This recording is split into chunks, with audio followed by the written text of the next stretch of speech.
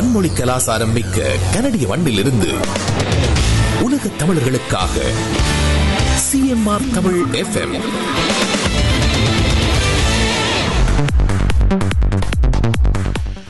CMR Tamil எஃப்எம்மின் இரவு ஒலிபரப்பினை கேட்டுக் கொண்டிருக்கிறீர்கள் நேர்களை இப்பொழுது முதல் கருத்துக்களம் நிகழ்ச்சியினை கேட்கக்கூடியதாக இருக்கும் இன்றைய கருத்துக்களத்தில் உண்மையில் நடந்ததே என்ன? டிவிஐ சிஎம்ஆர் பற்றிய விவரத்தை தான் இன்றைய தினம் நாங்கள் விவரமாக பேசிக் கொள்ளப் போகின்றோம் டிவிஐ சிஎம்ஆருடைய ஆரம்பம் இடையில் நடந்தது என்ன தற்போதைய நிலை தொடர்பாகத்தான் இன்றைய தினம் விரிவாக நாங்கள் பேசிக் கொள்ள இருக்கின்றோம். முதலில் டிவிஐயின் உருவாக்கம் இடையில் நடந்தது அதன் பின்பு தற்போதைய நிர்வாகத்திடம் எவ்வாறு டிவிஐ வந்தது என்பது தொடர்பாகத்தான் நாங்கள் பேசிக்கொள்ள இருக்கின்றோம். அதன் பின்பு சிஎம்ஆரின் உருவாக்கம் இடையில் நடந்தது தற்போது எவ்வாறு சிஎம்ஆரின் நிர்வாகம் அதனை கையாண்டு வருகின்றது என்பதை தொடர்பாகத்தான் இன்றைய தினம் இரு பிரிவுகளாக இந்த நிகழ்ச்சியை நாங்கள் செய்ய இருக்கின்றோம். முதலிலே டிவியை உருவாக்கம் பற்றி தான் பேசப் போகின்றோம். இது தொடர்பாக பேசிக் கொள்வதற்காக இருவர் எங்களோடு இணைந்திருக்கின்றார். ஒருவர் டிவியை ஆரம்பத்தின் ஆரம்பகால இயக்குநர்களில் ஒருவராக இருந்து எல்லோருக்கும் நன்கு அறி- அறிமுகமான வைத்திய கலாநிதி சாந்தகுமார் அவர்கள் எங்களோடு இணைந்திருக்கின்றார். வணக்கம் மதிப்புக்குரிய வைத்திய கலாநிதி திரு சாந்தகுமார் அவர்களே. வணக்கம் பாலா வணக்கம் நேயர்களே அதே போன்று இன்னொருவர் எங்களோடு இணைந்திருக்கின்றார் அமெரிக்காவிலிருந்து திரு ஜெயந்தன் அவர்கள். டிவியை உருவாக்கம் தொடர்பாகவும் டிவியினுடைய அமெரிக்காவினுடைய உரிமம் வழங்குவது தொடர்பாகவும் அதற்கான நிதி பங்களிப்பு தொடர்பாகவும் அவர் ஆரம்ப காலத்திலிருந்து டிவியோடு இருந்து வருகின்றார். அது மட்டுமல்லாமல் இந்த ஜெயந்தன் என்றால் தமிழருடைய ஆட்சி த- தமிழர் தாயகத்தில் நிலவிய கால பகுதியில் தமிழர்களுடைய முக்கியமான இடங்களிலே. குறிப்பாக இந்த மருத்துவம் சார்ந்த செயற்பாடுகளிலே குறி- குறிப்பாக கிளிநொச்சி வைத்தியசாலையிலே. அனைத்து முக்கியமான உபகரணங்களையும் தன்னுடைய சொந்த செலவில் வழங்கி தமிழுடைய ஆட்சி காலத்தில் ஏற்பட்ட மருத்துவ நெருக்கடிக்கு மிகவும் பேர் உதவி புரிந்த ஒருவராகவும் திரு ஜெயந்தன் அவர்கள் இருக்கின்றார். வணக்கம் மதிப்புக்குரிய திரு ஜெயந்தன் அவர்களே. வணக்கம் வணக்கம். சொல்லுங்கள் முதல்ல நான் வைத்திய கலாநிதி திரு சாந்தகுமார் அவர்களிடமிருந்து ஆரம்பிக்கின்றேன். சொல்லுங்கள் சாந்தகுமார் அவர்களே இரண்டாயிரத்தி ஓராம் ஆண்டு இந்த டிவிஐ தொலைக்காட்சி உருவாக்கப்பட்டு இரண்டாயிரத்தி இரண்டாம் ஆண்டு பிப்ரவரி மாதம் தாயகத்திலே இடம்பெற்ற அந்த உலகமே பார்த்து வியந்த ஒரு பத்திரிகை மாநாட்டின் ஊடாக இந்த டிவிஐ தொலைக்காட்சி வட அமெரிக்கா மற்றும் உலகமெங்கும் அஹ், பெரிதாக பேசப்பட்ட ஒரு ஊடகமாக இருந்து வந்தது எல்லோருமே அறிந்த ஒன்றாக இருக்கிறது. இந்த ஊடகம் ஆனது வட அமெரிக்காவிலே.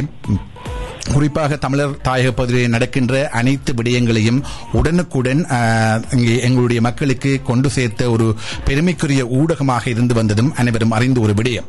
இரண்டாயிரத்தி ஒன்றிலிருந்து இரண்டாயிரத்தி ஒன்பது வரை தமிழர் தாயகத்திலே பல செய்திகளை கொண்டு வந்த ஒரு ஊடகம் இரண்டாயிரத்தி ஒன்பதுக்கு பின்பு ஒரு பின்னடைவை சந்தித்ததாக இருந்தது. முதல்ல இரண்டாயிரத்தி ஒன்றிலிருந்து இரண்டாயிரத்தி ஒன்பது காலப்பகுதி வரையிலே எவ்வளவு தூரம் இந்த டிவிஐ தமிழகோடு சார்ந்திருந்தது என்பதும் அதன் உருவாக்கம் பற்றியும் சுருக்கமாக சொல்லிக் கொள்ள முடியுமா? ஆமாம். நான் ஒரு பொதுமகனாக அதை தேவைகளுடன் அதை ஆரம்பிக்கும் போது என்னை அணுகி அதை ஒரு நிர்வாக பொறுப்பாளராக இருக்க முடியுமா என்று கேட்டு நான் அதை ஏற்றுக்கொண்டு அந்த வகையிலே நான் ஆரம்ப காலத்திலிருந்து இன்று வரை அந்த ஃபவுண்டேஷனோடு நான் வேலை செய்து கொண்டிருக்கிறேன் ம்ஹும். அந்த வகையிலே இது ஒரு மக்களுக்காக மக்களுக்கான ஊடகமாக ஒரு அத்தியாவசிய தேவை இருந்தது அதில் அந்த தேவைக்காக அமைக்கப்பட்டது. அந்த அந்த நேரத்திலே எங்களோட எங்களுடைய புலம்பெயர் சமுதாயத்திலே அந்த டிவிஐ பற்றிய அந்த அனுபவங்கள் உள்ளவர்கள் பெரிதாக இருக்கவில்லை. அந்த வகையில பலரும் அதில் ஈடுபட்டு ஆர்வத்தோடு அந்த இது ஒரு ஒரு வெற்றிகரமான ஊடகமாக ஆக்க வேண்டும் என்பதற்காக வேலை செய்தார்கள். அதோடு எங்களுக்கு அந்த உதவியும் இருந்தது. தாயக ஊடகவியலாளர்களாக இருந்த சிலர் அஹ், விக்னேஸ்வரன் திரு விக்னேஸ்வரன் திரு வி என் மதியழகன் போன்றவர்கள் அங்கே எங்களுடைய நாட்டிலேயே ஊடக பொறுப்பில் இருந்தவர்கள். அவர்கள் இந்த பலரையும் இதில் ஆர்வமுள்ள பலரையும் பயிற்றுவித்து. அவர்கள் அந்த ஆரம்ப காலம் மிகவும் ஒரு கஷ்டமான காலமாகத்தான் இருந்தது. உங்களுக்கு தெரியும் அந்த பணத்தேவைகள் இருந்தது இப்படி ஒரு ப்ராஜெக்ட் இப்படி ஒரு திட்டத்தை திட்டத்தை செயற்படுத்துவதற்கு பணம் வேண்டும் பல இளைஞர்கள் தான் இதை சேர்ந்து அதை என்னிடத்தில் கொண்டு வந்து காட்டினார்கள் இப்படி ஒரு ப்ரப்போஸ் ஒரு இது இருக்கிறது நாங்கள் அதை செய்ய வேண்டும் என்று சொல்லி அவரிடம் எல்லா திட்டங்களும் இருந்தது. அதுக்குரிய பண வசதி அந்த உதவி தேவைப்பட்டது.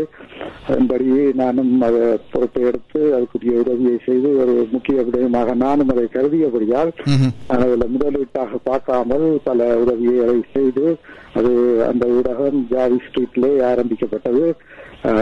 அதிலே பல அதில் வேலை செய்த அந்த பலரும் அதில் ஒரு வேலைக்காக சம்பளத்துக்காக வேலை செய்யவில்லை. ஒரு அர்ப்பணிப்புடன் எங்களுக்காக எங்களோட தாயகத்து மக்களுக்காக எங்களுக்கு என்ற ஒரு ஊடகம் நமக்கென்று ஒரு ஊடகம் என்ற ரீதியிலே வந்து அவர் பகல் நேரங்களில் வேலை செய்துவிட்டு மாலை நேரங்கள் இரவிரவாக வந்திருந்து தாங்கள் இதை ப- பயின்று கொண்டு இதை எப்படி இந்த வெற்றிகரமாக்கலாம் என்ற வகையிலே அர்ப்பணிப்புடன் சில பல ஊழியர்களும் அதில் சிலப்பட்டார் சே- செயற்பட்டார்கள்.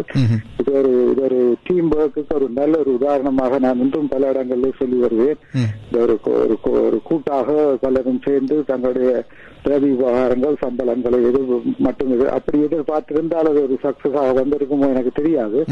அந்த வகையிலே அப்படி பலரும் அதில் மிகவும் ஆர்வத்துடன் ஈடுபட்டு பலரும் பல துறைகளிலும் வளர்ந்து அது மிகவும் முக்கியமான எங்களுடைய காலகட்டத்திலே பலரும் அந்த டிவியை அப்பொழுது பெரியாக பல ஊடகங்களும் இருக்கவில்லை. ஆரம்பிக்கப்பட்ட ஒரு தமிழ் தொலைக்காட்சி ஊடகமாக என்று இருப்பது போன்று அந்த தொழில்நுட்ப வசதிகளும் அந்த காலத்திலே இல்லை. ஆகவே இந்த தொலைக்காட்சியை பார்த்தால் தான் உண்மையான நிலவரங்களை உடனுக்குடன் அறிந்து கொள்ள முடியும் என்கின்ற ஒரு நிலை இருந்த ஒரு காலப்பகுதியாக அந்த காலப்பகுதி இருந்தது. என்பதை எல்லோருமே அறிவார்கள். ஆகவே இந்த இரண்டாயிரத்தி ஒன்றில் இருந்து இரண்டாயிரத்தி ஒன்பது வரையான காலப்பகுதியில் ஒரு முதன்மையான ஊடகமாக இப்போதும் சரி அது முதன்மையாக ஊடகமாக இருக்கின்ற வேளையிலும் அப்போது மக்கள் மத்தியிலே ஒரு முதன்மையான ஊடகமாக பார்க்கப்பட்ட ஒரு தொலைக்காட்சி நிறுவனமாக அந்த நிறுவனம் இருந்து வந்தது. சரி சரி. ஒரு முக்கிய தேவையும் இருந்தது. ஏனென்றால் எங்களுடைய புலம்பெயர்ந்த மக்கள் முக்கியமாக முதியவர்கள் இருக்கிற இல்லங்கள் எல்லாம் அந்த டிவியா இருந்தது. அது அது துரதிருஷ்டவதமாக நாங்கள் அந்த கேபிள் சிஸ்டத்துக்குள்ளால தான் போக வேண்டி இருந்தபடினாலே அந்த கொடுக்கப்பட்ட அந்த சப்ஸ்கிரிப்ஷன்ல முக்காவாசியே அந்த அந்த நிறுவனமே எடுத்துவிடும். அது மிகவும் கிடைத்த ஒரு குறைந்த வருமானம் தான் இருந்தாலும் பலரும் அந்த நாட்டு நிலைமைகளை நேரத்துக்கு நேரம் அந்த உடனடியாக பார்ப்பதற்கு அது ஒரு மிகவும் ஒரு அத்தியாவசியமான முக்கிய ஊடகமாக எல்லா எல்லா வீடுகளிலும் ஒழித்துக் கொண்டிருந்தது. சரி. இப்பொழுது இதே வேளையிலே உங்களுடைய கருத்தை ஆரம்ப கட்டத்திலிருந்து இப்பொழுது நேரடியாக இப்பொழுது மதிப்புக்குரிய ஜெயந்தன் அவர்களிடம் கேட்கின்றோம். சொல்லுங்கள் இந்த ஆரம்ப காலத்திலே இந்த டிவியை உருவாக்கம் பற்றி வைத்திய கலாநிதி அவர்கள் சொல்லியிருந்தார்கள். அதன் பின்பு ஆரம்ப காலத்திலிருந்து அங்கு அமெரிக்காவுக்கான அந்த உரிமத்தை உங்கள் உங்களிடம் வழங்கப்பட்டிருந்தது. அதற்கான நிதி செலவினையும் நீங்களே பொறுப்பேற்றிருந்தீர்கள். இந்த காலப்பகுதியிலே இந்த நிறுவனம் டிவிஐ நிறுவனம் உருவாக்குவதற்காக இளைஞர்களாக முன்வந்து இளைஞர்கள் தங்களுடைய பணத்தை முதலீடு செய்து இந்த நிறுவனத்தை உருவாக்கி இருப்பதாக உருவாக்கி இருந்ததாக வைத்திய கலாநிதி அவர்கள் சொல்லியிருந்தார்கள். நீங்கள் எவ்வாறு இதற்குள் உள்வாங்கப்பட்டீர்கள்? இதற்கான ஆரம்ப கட்டம் உங்களிடம் எவ்வாறு இருந்தது என்பதை சொல்ல முடியுமா மதிப்புக்குரிய ஜெயந்தன் அவர்களே? ஆமாம். எனக்கு வந்து இரண்டாயிரத்தி ஏழாம் ஆண்டு டிவிஐ கனடால ஆரம்பிக்கப்பட்டதை கேட்டவுடன் எனக்கு மிகவும் மகிழ்ச்சி. என்ற நாங்கள் அஹ், வட அமெரிக்காவில ஒரு இலங்கை தமிழர்களுடைய அஹ், தொலைக்காட்சி இருக்கவில்லை. அப்ப நான் கனடாக்கு வந்து அந்த அந்த நாட்டில் ஸ்டார்ட் பண்ண இளைஞர்களோட மீட் பண்ணி எப்படி நான் அமெரிக்காவில கொண்டுவரலாம் என்று ஒரு ஒரு திட்டம் போட்டு நாங்கள் அதுக்கு தேவையான முழு செலவையும் செய்து சேட்டலைட்டுகளால அமெரிக்காவில் கொண்டாங்க நாங்கள். கொண்டு அதான் இலங்கை தமிழர்களோட முதல் தமிழ் தொலைக்காட்சி வட அமெரிக்காவுக்கு வந்திருக்குது. தென் அதுக்கு பிறகு மிக விரைவில் சன் டிவி அமெரிக்காவுக்கு வந்து அதால எங்களுக்கு கொஞ்சம் எங்களுக்கு இந்த இந்திய தமிழர்களுடைய ஸ்பான்சர்ஷிப் இல்லாம போச்சு. அப்ப அதுல எங்களுக்கு அந்த கமர்ஷியலா எங்களுக்கு நடத்த முடியாம போனதால நாங்கள் இருந்து நிப்பாட்ட வேண்டி. அஹ், அதன் பிறகு அந்த அமெரிக்கா ரைட்ஸை வந்து கனடால டிவியா திருப்பி என்னுடைய என்னுடைய திருப்பி எடுத்தாரு. அதுக்கு பிறகு நான் பார்த்து கொண்டுதான் இருந்தேன் நான் இந்த வளர்ச்சி ஒரு முறை நான் கனடாக்கு வரைக்கும் அங்க பார்த்தேன். ஆனா அந்த இரண்டாயிரத்தி ஒன்பதாம் ஆண்டுக்கு பிறகு அதன் தரம் குறைய தொடங்கிட்டு ஏன குறைய தொடங்கிட்டு. அப்ப நான் அப்ப அங்க அந்த நிறுவனத்தில் ஆகிறோட நான் கேட்கிறேன் இது எடுத்து நாங்கள் வடிவ ஒரு தரமாக நடத்த வேணும். ஆனா அதுக்கு வந்து அதைக்கு நிதி பிரச்சனையை கொண்டிருக்கலாம். அப்ப இரண்டாயிரத்தி பதினாறாம் ஆண்டு நான் ஒரு அக்ரிமெண்ட்டுக்கு வந்து எனக்கு அந்த அமெரிக்கா லைசன்ஸ் திருப்பி எடுத்தால வர வேண்டிய ஒரு ஆசிரியர் இருந்து அதையும் நான் ரைட் ஆஃப் பண்ணி. ஒரு மில்லியன் ஒன்று ஒரு ஒன்று தசம் ஆறு மில்லியன் டாலருக்கு ஒரு அக்ரிமெண்ட் எடுத்தேன். நாங்கள் வந்து ஒன்று தசம் ஆறு மில்லியன் தருவோம் எங்- எங்கள்கிட்ட அந்த எஃபெக்ட் டிவிஐ பேரையும் டிவிஐ ரைட்ஸையும் எல்லாத்தையும் நாங்கள் வேண்டுறோம். வேண்டி நாங்கள் நடத்துறோம் அதுல வந்து ஒரு லட்சம் டாலர் வந்து அதுகளுக்கு அந்த சில செலவுகள் பழைய பில்ஸ் பழைய சலரிஸ் பே பண்ண கிடந்தது. அதை பே பண்றதுக்கும் ஒன்றரை மில்லியன் ஒரு ஃபவுண்டேஷன் அதை செட்டப் பண்ணி எங்க தமிழ் ஆட்களுக்கு தேவையான செலவுகள் அதை செய்யறதுக்கு உதவியை செய்யறதுக்கு ஒரு ஃபவுண்டேஷன் செட்டப் பண்ணி. அந்த ஃபவுண்டேஷனுக்கு one and half million dollar தாரம் இந்த விவரத்தை நாங்கள் இரண்டாயிரத்தி ஒன்பது வரையான காலப்பகுதி தான் நாங்கள் முதல் பார்த்து கொண்டிருக்கிறோம்.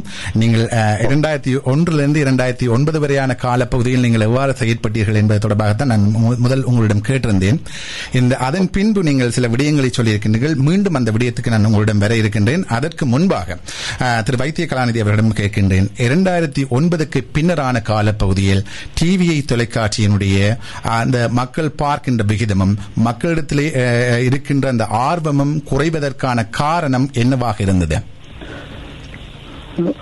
ஆமாம். அது அது எல்லாருக்கும் தெரிந்த ஒரு காரணம் தானே. அங்கே எங்களுடைய தாயகம் சார்ந்த விடயத்தை தாண்டி அதற்கு அப்பாற்பட்டு ஒரு ஜன- ஜனரஞ்சகமான மக்கள் விரும்புகின்ற மக்கள் எதை எதிர்பார்க்கின்றார்கள் என்கின்ற அடிப்படையிலே அந்த தொலைக்காட்சியை ஏன் தொடர்ந்து நடத்த முடியாமல் போனது என்கின்ற ஒரு கேள்வியை ஒரு பொதுமகனாக முன்வைக்கின்ற பொழுது உங்களுடைய பதில் என்னவாக இருக்கும்?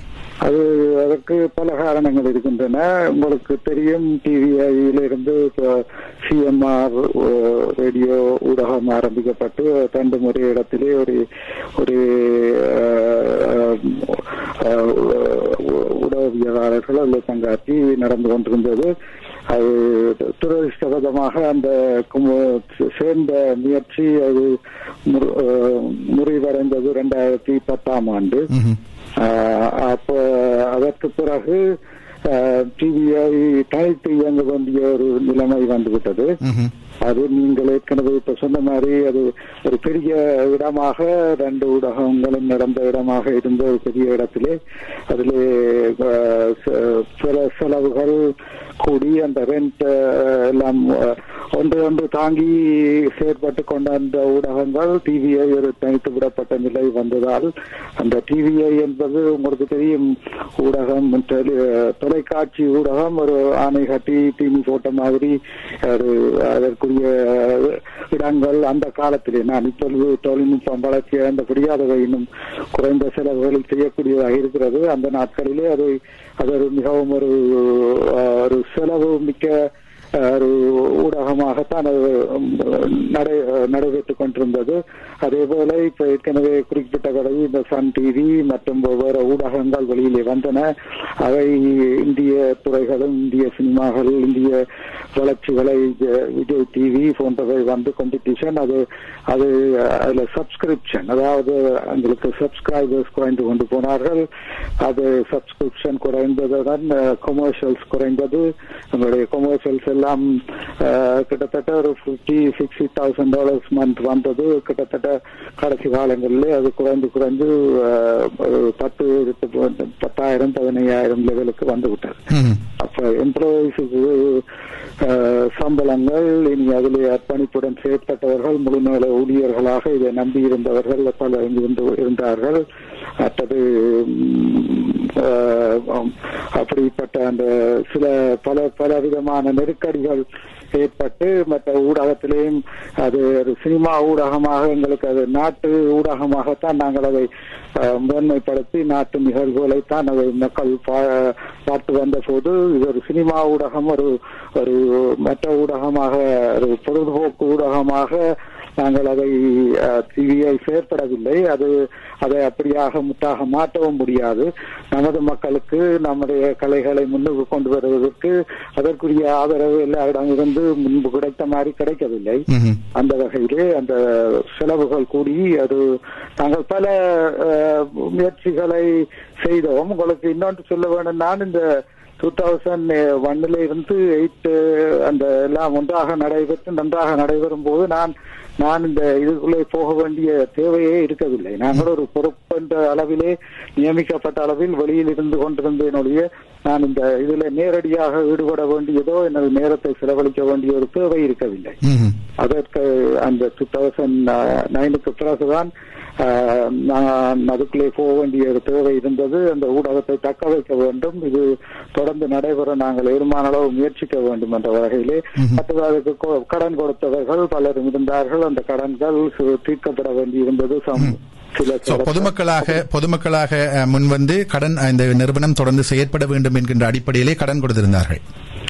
பொதுமக்களாக ஆரம்பத்திலே நான் ஏற்கனவே சொன்னபடி அந்த ஆரம்ப காலத்திலே பல முதலீட்டாளர்கள் அதர் முக்கியமாக இதொரு ஊடகம் தமிழ் மக்களுக்கு இளத்தமிழ் மக்களுக்கு வளர வேண்டும் என்பதற்காக கொடுத்தவர்கள் பலரும் இருக்கிறார்கள்.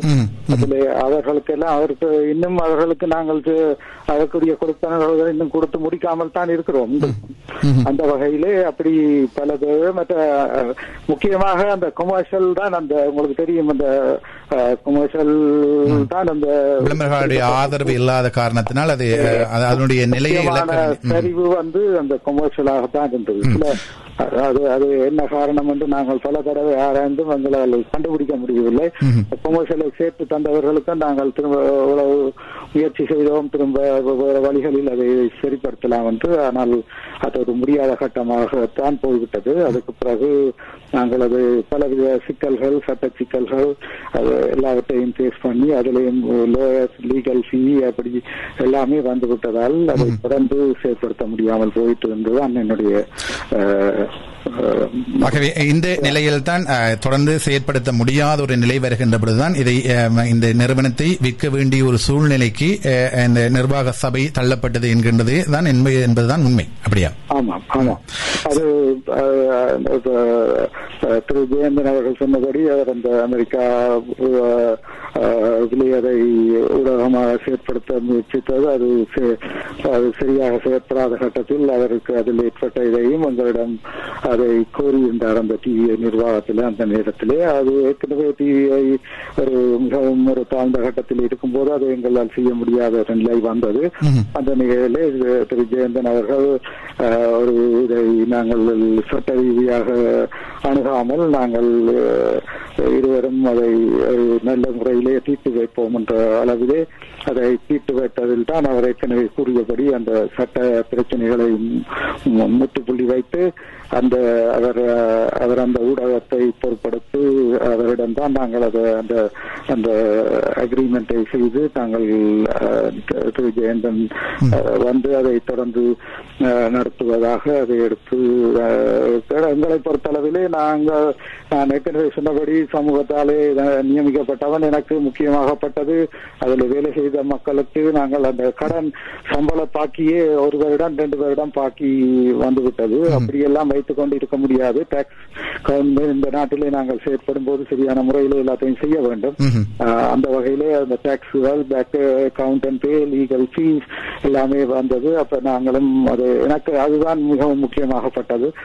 நாங்கள் தொடர்ந்து ஆகவே ஒரு அந்த ஊழியர்களுடைய சம்பள கொடுப்பன நிலவில் இருந்தது. ஆகவே பல காரணங்களை அடிப்படையாக வைத்து இந்த டிவிஐயை ஒப்பந்த அடிப்படையில் விற்பனை செய்வது என்கின்ற முடிவுக்கு எல்லாரும் சேர்ந்து ஒரு முடிவெடுத்து வந்தது. இப்பொழுது சொல்லுங்கள் முக்கியமான கட்டம். இப்பொழுதுதான் நான் திரு ஜெயந்தன் அவர்களிடம் கேள்வியை கேட்கின்றேன். நீங்கள் இந்த சட்ட ரீதியாக இந்த இதை அணுகாமல் ஒரு ஒரு புரிந்துணர்வு அடிப்படையிலே நிர்வாக சபை இயக்குநர்கள் அனைவரையும் அழைத்து ஒரு புரிந்துணர்வு அடிப்படையிலே இதை விற்பனை செய்வதற்கான ஒரு முடிவுக்கு வந்த பொழுது மொத்தமாக இந்த டிவி தொலைக்காட்சியை எது எதன் அடிப்படையிலே பெறுமதி செய்து அதை எந்த அடிப்படையிலே இந்த பணப்பரிமாற்றங்களை செய்து கொள்ள முடியும் என்கின்ற அடிப்படையிலே இதை நீங்கள் ஆரம்பித்தீர்கள் என்று சொல்ல முடியுமா? எனக்கு வந்து அந்த டிவிஐ அந்த பெயர் ஒரு நல்ல பெயர் என்னோட ஒரு- தாயத்தோட தொடர்பா இருந்த ஒரு டெலிவிஷன் அந்த டிவிஐ வந்து ஒரு நாளும் கீழே போக விடக்கூடாது. அது மட்டும் இல்லை அதன் தரத்தையும் வளர்க்க வேணும். இப்ப இப்ப- வந்து நாங்க பழைய மாதிரி பழைய வளங்கள் பழைய இதுல திருப்பி திருப்பி ரீரன் போடாம எல்லாம் புது சேர்ந்த எங்களோட புறம் சேர்ந்த நாட்டில் உள்ள இளைஞர்களுக்கு அது அந்த கலைகளை வளர்க்கறதுக்கு ஒரு ஒரு இடம் கொடுக்க வேணும். அப்படி அந்த அப்படித்தான் நாங்க பார்த்தது. மற்றது ஒரு ஃபுல் டைம் ஜாப் எங்களுடைய ஆட்களுக்கு வேலையும் கொடுக்கறதுக்கு இருக்கணும் கலைஞர்களுக்கு வேலை கொடுக்க வேணும். அப்ப அதுக்கு அதுக்காகத்தான் நாங்க டிவியை எடுத்து ஒரு தரமான ஒரு தொலைக்காட்சியா நடக்க வேண்டும் என்றது என்னுடைய விருப்பம். அதற்காகத்தான் அந்த அதையோட அக்ரி பண்றதுக்கு அதுக்கு ஒரு வேல்யூ ஒன்றும் இருக்கவில்லை ஏன்னா அது நியமன தரம் குறைஞ்சு விட்டது எப்ப மூடு வேர்களோன்ற ஒரு பயன் இருந்தது ம்ஹும். அப்ப அதுக்கு வந்து ஒரு வேல்யூ இருக்கு இல்லையா அப்ப நாங்கள் என்ன யோசிச்சாங்க என்றா எங்களோட அஹ், தமிழாக்களுடைய அஹ், தேவைகளுக்கு ஒரு one one and half million dollars foundation அதை போட்டு நடத்துகிறோம் அப்ப நாங்கள் இந்த மிச்சம் ஹண்ட்ரட் தௌசண்ட் ஹண்ட்ரட் தௌசண்ட் நாங்கள் അതിന്റെ ബാക്ക് പേജസ് ടാക്സ് எல்லாம் இருக்குங்களா நாங்களுடைய அண்டர்ஸ்டாண்டிங்ல நாங்கள். கொடுத்தனாங்க. அப்ப எவ்ரி மந்த் பே பண்ணி கொண்டு போறோம். அப்ப இப்ப நாங்கள் already almost half million dollars six hundred thousand dollars pay பண்ணிட்டோம். ஒன் மில்லியன் கிட்ட பே பண்ணி. ஏற்கனவே பேசப்பட்ட அந்த தொகையில் ஒன்று தசம் ஆறு மில்லியனுக்கு இது விலை பேசப்பட்ட நிலையில் கிட்டத்தட்ட ஒரு லட்சம் டாலர்களுக்கு என்ன நடந்தது? மீண்டும் சொல்லுங்கள். ஊழியர்களுக்கான சம்பள கொடுப்பனவு ஒரு ஒரு லட்சம் டாலர் வந்து அது இந்த அரியர்ஸ் பேமெண்ட்ஸ் டாக்ஸஸ் வேஜஸுக்கு வந்து கொடுத்தனாங்க லீஸ் பேமெண்ட் ரெண்ட் பேமெண்ட் ம்ஹும். மற்ற ஒன் அண்ட் ஹாஃப் மில்லியனும் ஃபவுண்டேஷன் செட்டப் பண்றதுதான் எங்களுடைய அண்டர்ஸ்டாண்டிங் ம்ஹும். அப்படித்தான் பே பண்ணி கொண்டு வரோம். ம். அதாவது ஒரு நம்பிக்கை நிதியம் என்கின்ற அடிப்படையில் ஒரு நிதியத்தை உருவாக்குவது என்கின்ற ஒப்பந்த அடிப்படையிலே அந்த பணம் கொடுக்கப்பட்டிருக்கிறது. ஆகவே இது எந்த அடிப்படையில் இந்த மொத்தமாக அந்த பணம் கொடுக்கப்பட்டிருக்கிறதா? இல்லாவிட்டால் தவணை அடிப்படையில் இந்த பணம் கொடுப்பதாக நீங்கள் ஒப்பந்தத்தில் கை கைத்தாட்டுகிறீர்களா தவணை அடிப்படை. Down payment down payment hundred thousand அதுக்கு பிறகு செவன் இயர்ஸுக்குள்ள ஃபுல்லா பே பண்ணணும். ஒவ்வொரு மாதமும் twelve thousand five hundred pay பண்ணி ம்ஹும். சரி.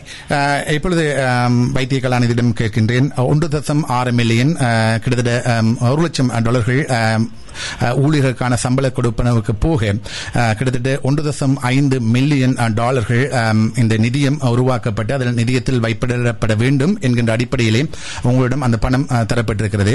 இந்த ஒன்று தசம் ஐந்து மில்லியனுக்கான பணம் உங்களிடம் அஹ், தரப்பட்டிருக்கு தவணை அடிப்படையிலே தரப்படுவதாக இருந்தாலும் அதற்கான நிதியத்தை நீங்கள் ஆரம்பித்து விட்டீர்களா? அந்த பணத்தை அதில் வைப்பிலிடுவதற்கான ஏற்பாடுகள் அனைத்தையும் செய்துவிட்டீர்களா ஆமாம் நான் இதில் கொஞ்சம் விளக்கம் கொடுக்க வேண்டும் அந்த ஒன்று தசம் அஞ்சு மில்லியனை நாங்கள் சேரிட்டிக்கு எடுப்பதென்று ஒரு அக்ரிமெண்ட் அதிலே நாங்கள் கைச்சாத்திடவில்லை. அதில் திரு ஜெயந்தன் சொல்லுகிற கணக்கு சரி அவர் அந்த முதல் ஒரு லட்சம் டாலர் முன் முன் கொடுப்பனவாக கொடுக்கப்பட்டது ம்ஹும். ஆனா நான் ஏற்கனவே கூறியபடி எங்களுக்கு இருந்த கடன். நானூறு அஞ்சூறு ஆயிரம் டாலர். அதுக்குரிய எம்ப்ளாயி பேமெண்ட் முந்நூறு ஆயிரம் இந்த ரெண்ட் பேக் பேமெண்ட் பிகாஸ் நாங்க என்னடா தொடர்ந்தும் அந்த இடத்திலே டிசம்பர் வரையும் இருந்தோம். இந்த அக்ரிமெண்ட் செய்யப்பட்டது ஜூன்ல. அதுக்குரிய ரெண்டுகள் பணப்பாக்கிகள் அன்பெய்ட் பில்ஸ் எல்லாமே சேர்த்து பார்க்கும்போது கிட்டத்தட்ட ஒரு நானூற்று நானூறு ஃபோர் ஹண்ட்ரட் தௌசண்ட்க்கு மேல நாங்கள் எல்லாம் கொடுத்த கொடுப்பனவுகள் அக்கவுண்டிங் எல்லாம் இருக்கிறது அப்படியே. எம்ப்ளாயீஸுக்கே இருநூற்றி ஐம்பது முந்நூறு ஆயிரம் கொடுத்து அதை இப்ப நாங்கள் திரு ஜெயந்தன் அவர் கொடுத்த முற்பணத்திலே ஒரு ஒரு அவர் எம்ப்ளாயீஸின் ஒரு ஒன்றரை வருட பேயிலே நாங்கள் ஒரு இருபத்தைந்து வீதத்தை ஒரு ஒரு அந்த முற்பணத்திலே கொடுத்து விட்டு இல்லை இப்பொழுது இல்லை உங்களுடைய அந்த விளக்கம் இருக்க நான் மன்னிக்கவும் குறுக்கிடுவதற்கு. பொதுவாக இந்த ஒப்பந்த அடிப்படையிலே இதை பெயர் மாற்றம் செய்வதற்காகவும் எல்லா முயற்சிகளும் நடைபெற்றுக் கொண்டிருந்த பொழுது ஏன் நீங்கள் அந்த இவ்வளவு கொடுப்பனவுகள் ஏற்கனவே ஒரு லட்சம் டாலர் ஊழியர்களுக்கான கொடுப்பனவு நிலுவையாக இருக்கிறது. ஆகவே அதை கொடுக்க வேண்டும் என்கின்ற அடிப்படையிலே ஒன்று தசம் ஐந்து மில்லியனை விட ஒரு லட்சம் டாலர்கள் அதிகமாக வாங்கப்பட்டிருக்கிறது. ஆகவே ஏன் இந்த மிச்ச கொடுப்பனவுகளை மிச்ச கொடுப்பனவுகளை அதில் சுட்டிக்காட்டி இருக்கலாம் தானே? அதெல்லாம் சுட்டி காட்டப்பட்டது இது வந்து ஒரு ஒரு லீகல் அக்ரிமெண்ட் இது ஒரு கோர்ட்டுக்குள்ளாக எடுத்த அக்ரிமெண்ட் அதுல எல்லாம் இருக்கிறது. நாங்கள் அதை பற்றி இதுல பேச வேண்டிய அவசியம் எனக்கு தெரியவில்லை. அது ஒரு லீகல் அக்ரிமெண்ட் ஆனா அதுல அந்த ஒன்று தசம் நூறு ஆயிரம் தான் எம்ப்ளாயிஸ்ன்றது ஒரு இடமும் கொடுக்கப்படவில்லை. அதுல ஆனால் அது ஒரு உறுதி கொடுக்கப்பட்டது. இந்த செலவு பேக் பேஸ் எல்லாம் போய் முடிய டிவிஐ ஷேர் ஹோல்டர்ஸ் எடுத்த முடிவு. அதைத்தான் முதலாவது பிரையாரிட்டி நான் ஏற்கனவே சொன்னேன் உங்களுக்கு. வேலை செய்தவர்களுக்கு பணம் கொடுக்காமல் அதை- கொடுத்து விட்டுத்தான் மீதி இருக்கிற பணத்திலே நாங்கள் இந்த ஒரு நிறுவனத்தை அமைப்போம் என்றது தான் அப்படித்தான் சொல்லப்பட்டது. அதன்படிதான் நடந்தது. இப்ப கடந்த ஒன்று ஒன்றரை வருடம் காலமாக எங்களோடு இருந்த திரு விக்னேஸ்வரன் அவர்களே இதை பொறுப்பெடுத்து அவ்வளவு எம்ப்ளாயிஸுக்கும் ஒவ்வொரு மாதமும் நாங்கள் அதை கொடுப்பனவுகளை கொடுத்து இப்பொழுதுதான் ஆ- மூன்று மாதம் ஆறு மாதத்துக்கு முதல் நாலு மாதத்துக்கு முதல் அதை முடித்திருக்கிறோம். மற்றது நான் இதுதான் முக்கியத்துவம் முக்கியமாக செய்யப்பட்டது டாக்ஸுகள் accountant fee and lawyers fee and every ம்ஹும். நான் ஏற்கனவே சொன்னபடி கிரெடிட்டர்ஸுக்கு நாங்கள் இன்னும் கொடுக்கவில்லை. கடன் கொடுத்தவர்கள் இன்னும் இருக்கிறார் அதுல இன்னும் ஒரு two hundred thousand three hundred thousand கொடுப்பதற்கு இருக்கிறது. ம்ஹும். இதுகளெல்லாம் புக் பண்ணப்பட்டு அக்கவுண்டிங் செய்யப்பட்டு அக்கவுண்டன்ட் ஆடிட்டர்ஸ் எல்லாம் பார்த்து புக் பண்ணப்பட்ட கொடுப்பனவுகள் இது பற்றி வெரிஃபிகேஷன் என்றால் அதை வெரிஃபிகேஷன் என்றால் அதை வெரிஃபிகேஷன் என்றால் அதோடு இருந்து அதை செய்ய வேண்டும். நான் சொல்வது இதுதான் நட- நடந்த உண்மையில் நடந்த நான்- மேற்பார்வை செய்து கொண்டிருக்கிறேன். எனக்கு எல்லாம் தெரியும். அந்த அந்த இந்த கணக்கு விவரங்கள் எல்லாம் தெரியும். அதன்படி இப்படித்தான் நிலவரம். இப்பொழுதுதான் நாங்கள் அதை முடித்து விட்டு இவன் இந்த ப்ரோக்ராமர்ஸ் அதுக்கெல்லாம் ஆரம்பத்திலே கொடுக்கவில்லை. சில பேருக்கு மாதம் மாதம் கொடுத்தோம். சில பேருக்கு மூன்று மாதத்துக்கு ஒரு தடவை கொடுத்தோம். கொடுத்து எல்லாவற்றையும் முடித்து விட்டு இப்பொழுது நாங்கள் அந்த நீங்க சொன்னபடி அந்த ஃபவுண்டேஷன் ஆரம்பிக்கப்பட்டாயிட்டு அது அது பற்றி நான் திரு ஜெயந்தன் அவர்களுக்கும் தெரிவித்திருந்தேன். இஹை ஃபவுண்டேஷன் சொல்லி ஒரு ஒரு ஒரு ஓப்பன் ஓப்பன் ஒரு சேரிட்டி அமைப்பாக நாங்கள் அதை செய்ய இருக்கிறோம். அது கிட்டத்தட்ட ஒரு வருகிற ஒரு ஐந்து வருடத்தில் திரு ஜெயந்தன் சொன்னபடி அந்த மாத மாத கொடுப்பனவுகளும் மற்ற இட கொடுப்பனவுகளையும் கொடுத்து முடித்து பார்க்கும்போது ஒரு ஒன் மில்லியன் டாலர்ஸ் இருக்கும்.